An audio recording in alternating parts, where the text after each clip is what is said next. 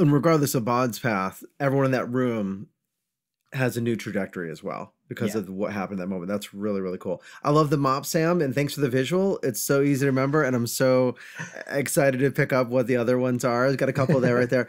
No, but that's different. The mop Sam strategies are are kind of conversational uh, mm-hmm. strategies to address those microaggressions, the biases, and things that can occur. Um, but that's different than what you teach about with the six core competencies for for leaders. Is that true? Uh, it's actually woven in. Um, I, I, actually stole MopSam. I've, I've, been using MopSam. I actually wove it into my book Pride Leadership. Um, so in, in Pride Leadership, we talk about. I have a visual, even though you're, we're on audio, just because I, it's my mouse pad, so it's, my my my swag. Um, but when I was starting the book, um, very quick story. You know, I was trying to, I was going to write a quote unquote generic leadership book. And, you know, I've been in this space for 25 plus years. You see what works, what doesn't, kind of same, same as you. And um, so I, I, remember I had one of my best friends who was an OD consultant um, came over, bribed him with some wine. I'm like, you need to help me think this through. As an extrovert, I need help. He's like, got it. So we just all in my I'm doing this because I'm in my office where we did this, and we just got out post-it notes and wrote what are the the competencies that we see leaders who are just crushing it, rocking and rolling. What do they got? And we came up with like 28 different competencies, and we're like, I'm like, okay, that's way too big of a book. so we kind of started to pare it down and look at things, and then uh, it was about that time when um, I was also doing a lot of volunteer work, especially for LGBTQ plus community. And I say plus, not plus, because I lived in France and it just sounds cooler, just so you know. Um, but it means plus. I, um, I was wondering about that because it's I never heard it said like that. Yeah, so there you go. Okay. And I throw off like like people who are members of my community. They're like, "What'd you say?" I'm like, "Plus, it's cooler than plus." Shut up. They're like, "Okay, got it." So it kind of rhymes uh, too, which is cool. It, yeah. It's rhythmic. Yeah, I write, yeah. write that in the book. Yeah.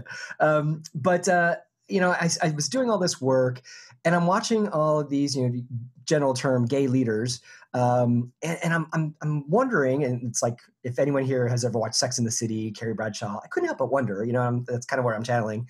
Um, I know that's so gay, but anyway, uh, I was like sitting there thinking, I, I wonder if my queer leaders that I'm watching had some opportunity to flex their leadership muscles a little bit differently than my straight brothers and sisters. And that kind of was the pivot point for uh, what became Pride Leadership. And so uh, I came I whittled it down to six, um, and they are uh, authenticity, courage, empathy, uh, communications, relationships, and culture.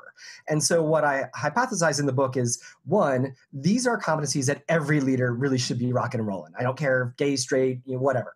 Um, but I argue that uh, authenticity, for example, well, as somebody who's a member of the LGBTQ community, you know that you have an opportunity to be your authentic self a little bit differently in the workplace than your straight brothers and sisters. So, as a gay man, um, I constantly am coming out, uh, being my authentic self. Whether I'm, it's a new client, I'm doing a, a, workshop with 40 people. You know, somewhere through that conversation, I have the opportunity to share my authentic self or not.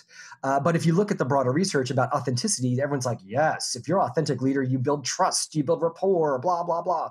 And so in Pride Leadership, I talk about hey, you know, queer person and allies as well. I, my allies love the book because it's all bad dad jokes in a good way, um, but it's also actionable stuff that you can do and apply immediately to your leadership success. So we talk about how do you build, make your authenticity even more um, in the workplace, and, and, how do you do that? And there's a lot of reflection uh, in the book as well. Um, the book led to a workbook, uh, which also led to an eight-week online class that we do, um, and the whole idea is just to beef up these six competencies so that even more effective uh, in the workplace than you were before.